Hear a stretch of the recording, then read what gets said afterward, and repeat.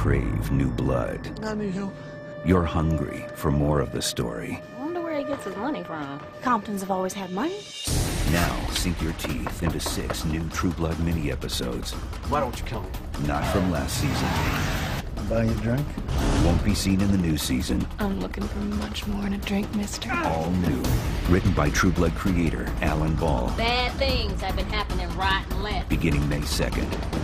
Every Sunday night. Uh-huh. Right after a season two encore presentation at 8. Get ready for the new season with a drop of True Blood.